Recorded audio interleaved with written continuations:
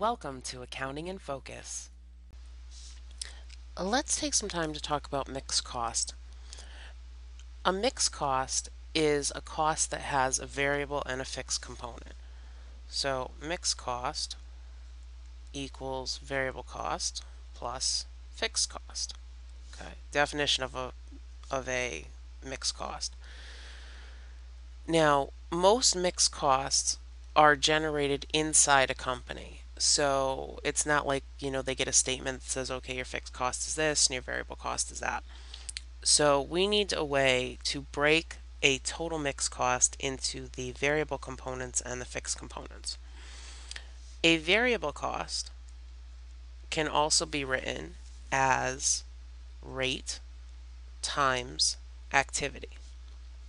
So we can say that our mixed cost is equal to rate times activity plus fixed cost. Okay, now if you look at this, right now we've got a list of six months worth of activity. I've got the total cost for that activity, and then I've got the actual activity itself. Okay, so how much of something is going on, and this is how much it costs for that level of something to happen. So right now we have to figure out a way, well, how do we break this down so that I've got mixed cost is equal to rate times activity plus fixed cost? Well, we actually have some formulas to do that. The first thing that we want to do is we want to calculate our variable rate. Okay. My variable rate can be said to be change in cost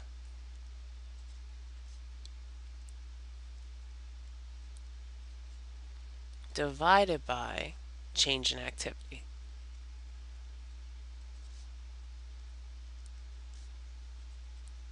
Activity. Okay. So what we're going to do, because this is called the high-low method, is we're going to find the high point and the low point from this list. Now, when you're trying to identify the high point and the low point, you're always going to use the activity. Okay, these costs aren't perfect, but we know that the activity measured is perfect. So you always want to use the activity to figure out your high point and your low point. So which one of these months has the highest activity? Okay, and if we look at it, that would be February. So I'm going to put an H next to that number. And then if we look at this number, if we look at this list, which month has the lowest activity? Okay, well that's actually, that's March. Okay, so I'm going to put a low next to March. So now from this table, this is the only information that we're going to use. Okay, once you determine your high point and your low point, that's it. Okay. So the rest of this information, we're not even going to use it. Okay, we're just going to use February and March.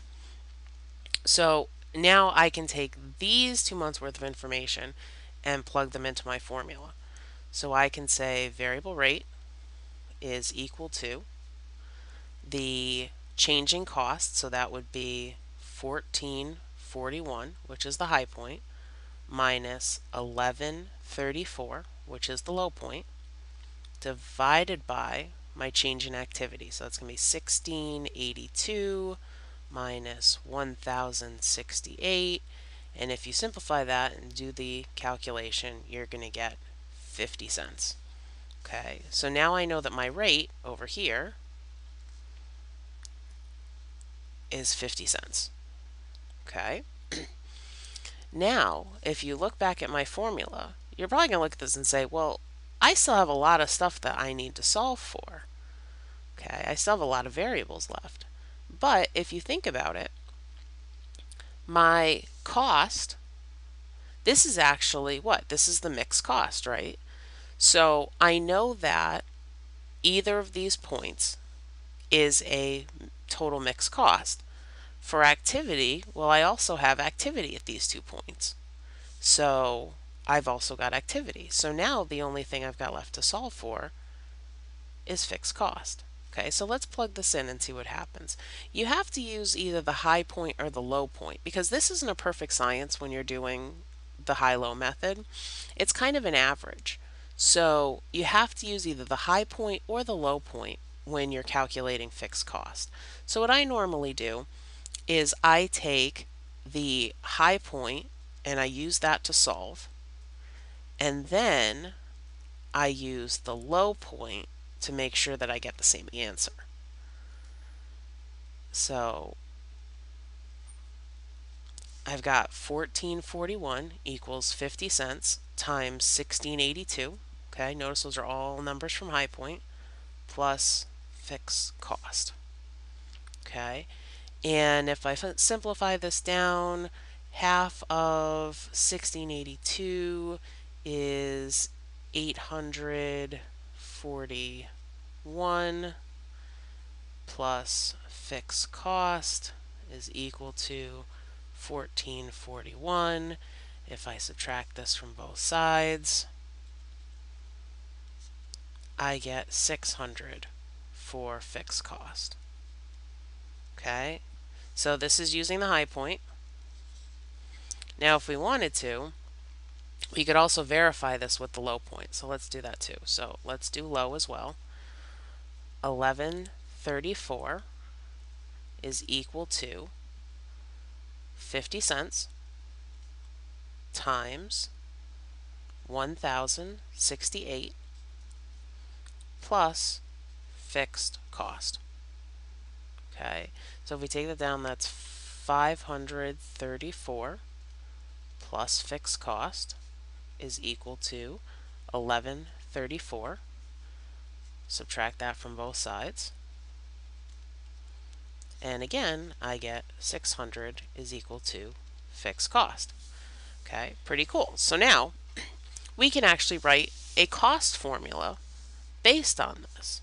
Okay, so we can actually say we can take this formula here, okay, and we can write that as a formula for planning. So I can say mix cost is equal to my rate, which is 50 cents, times activity plus 600. Okay, so now we can use that to plan going forward. So now let's think about this for a second. So imagine that for July,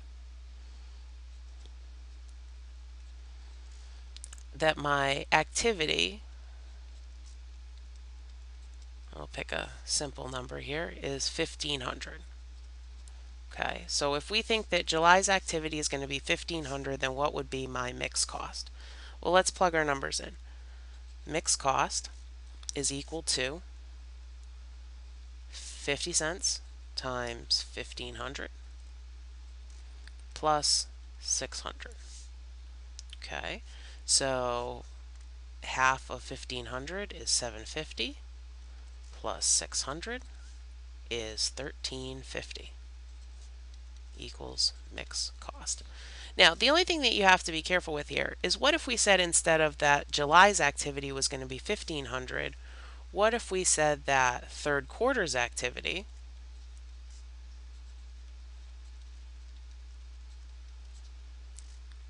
equals, let's see, let's make it, let's do 5,000. It's an easy number to work with. Okay, so what happens if third quarter's activity is 5,000? So I would say mix cost is equal to 50 cents times 5,000 plus, now what are we going to add here? Remember, fixed cost is fixed as long as you're within the relevant range, right? Well, what's my relevant range? My relevant range here is a month, okay? When we solve this, notice that this is the fixed cost for a month.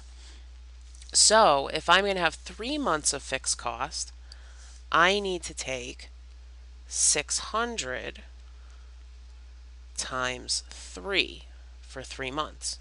Okay? So my fixed cost is actually going to be 1800 Okay, why did I do that? Because I've got three months in a quarter. So therefore I need to have three months of fixed costs, $600 a month times three. My variable cost is going to be 2500